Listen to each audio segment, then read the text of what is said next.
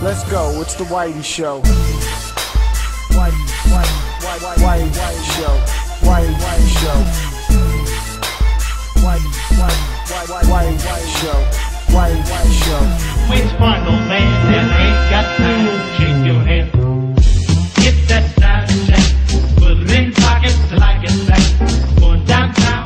Has been around for ages, and it's a series that's been on the PC mostly, though I think 3 or something came on the PS2 or some weird shit like that.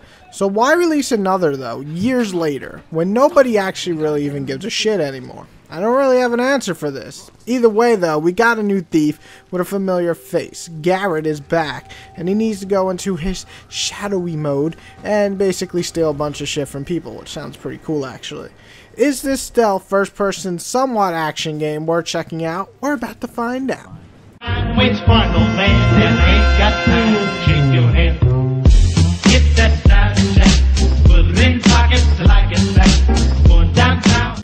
The good. The graphics. I played it on the PS4 and it did not disappoint. The lighting was good, as were most of the animations. Sure, it was kind of limited in terms of how many people are on screen and you see the same person on the street and you're like, what the heck? But it is kind of a stealth game and all you really care about is seeing these really cool shadowy moments and really good looking environments. That's the point.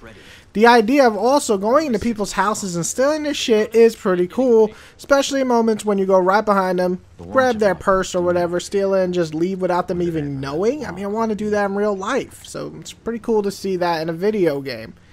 That's kind of where the good ends. The bad begins right here. The controls feel just off right off the bat. It's just unnatural. I never felt like it actually worked well despite getting further into the game. I felt this was like the biggest distraction to the overall feel of the game and it never felt as responsive as they should. Also, the voice acting is pretty bad. Garrett isn't bad per se, but the rest of the cast could have used some serious work or just replaced all of them. Especially coming from something like Tomb Raider, which I believe was by the same team, so what happened here?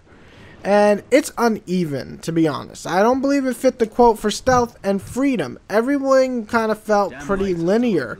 A game like Dishonored felt more open world and more to the thief kind of feel, and this just wasn't, and that's a problem for a game like this. And then we even have an ugly thrown onto that. The story. What the hell was this? Is it even worth mentioning? Not really. Beyond silly and boring and not worth anyone's time, to be honest. This was another humongous major fault, and I don't know if the other thieves had a story worth mentioning, but they couldn't have been possibly this fucking boring.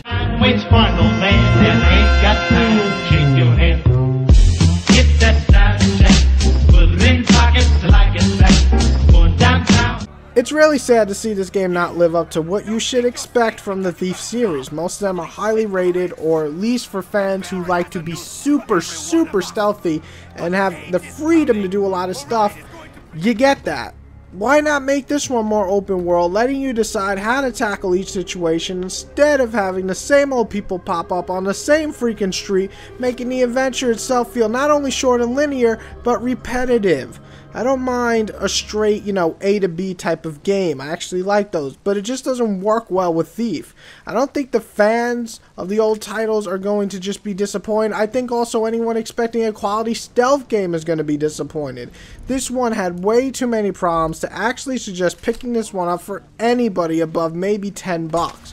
Gonna give this game a 4.5 and I am just really disappointed and hope they just lay this series to rest and let's not get another one. Let's just create a whole new series because this obviously isn't working well for the thief series